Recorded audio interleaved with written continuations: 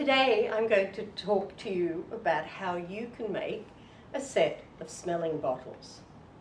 These are one of the sensorial materials that you will find in your child's toddler and preschool classroom. Reuse your herb jars once they're empty to, to create your own smelling bottles at home.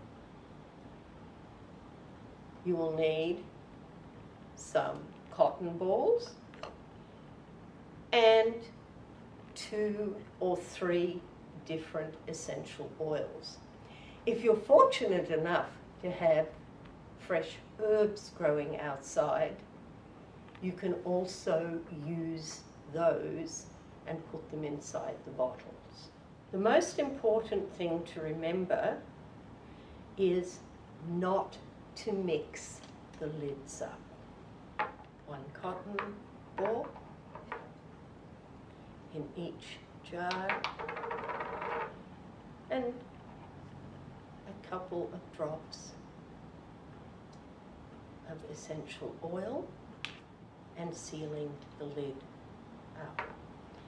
This is repeated for all the matching pairs of bottles.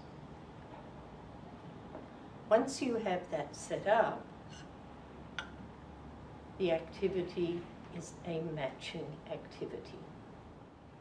As I said, the important thing is not to mix your lids up, as they will cross-contaminate this sense in the jars.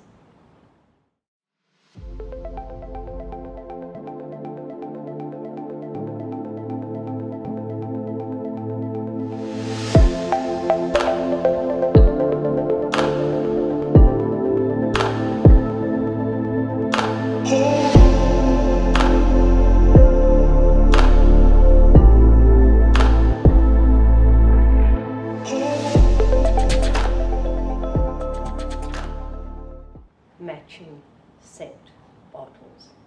Please remember that essential oils are very intense and you only need a couple of drops.